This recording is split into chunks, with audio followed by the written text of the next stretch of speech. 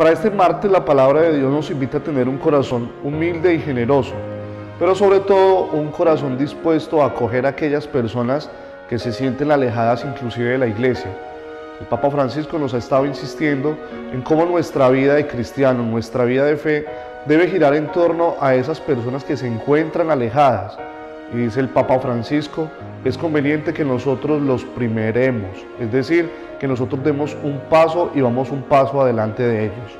Hoy en la memoria de Santa Teresa del Niño Jesús, recordemos a tantos hombres y mujeres, misioneros en el mundo entero que se han encargado de hacer eso,